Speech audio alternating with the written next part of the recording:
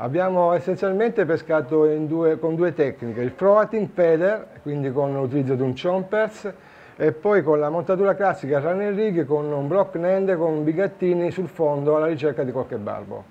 Allora, quando affrontiamo queste situazioni pesca pratica in fiume, in cui dobbiamo portare con noi l'indispensabile, questo sistema eh, che abbiamo ideato appunto per poter cambiare eh, facilmente le montature, quindi passare da una montatura run and rig magari al method, è costruito semplicemente con una guaina.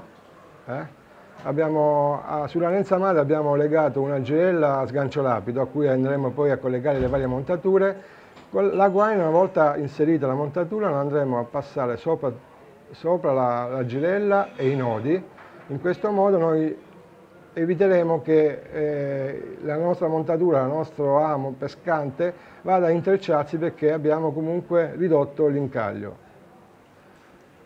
Se vogliamo passare quindi a, da questa montatura alla, al metodo che abbiamo per esempio noi già realizzato, già pronto in questo modo, abbiamo, ecco qua. qui abbiamo la montatura al metodo che dobbiamo fare altro in questo caso inserire il nostro pasturatore metodo round in line o l'Excel andando a inserire da questa parte, dall'asola.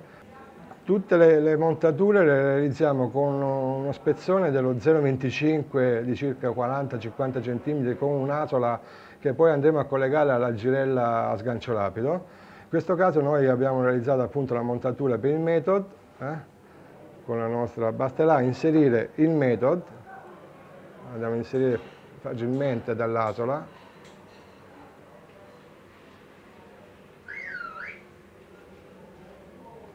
In questo modo.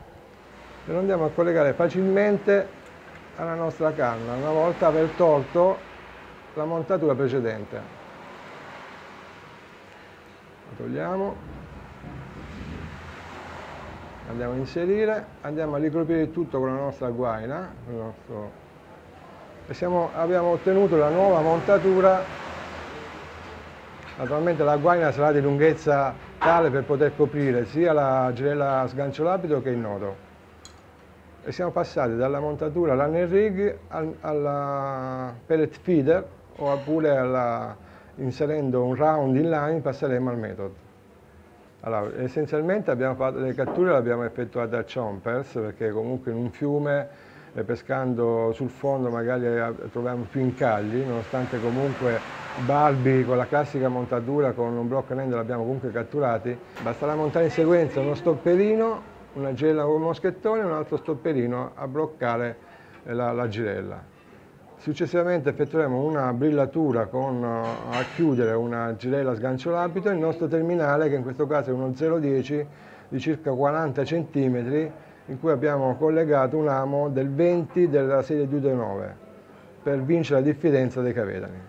Ecco, questa è la montatura che oggi ha reso maggiormente e ci ha permesso di catturare i bellissimi cavedani in Santerno.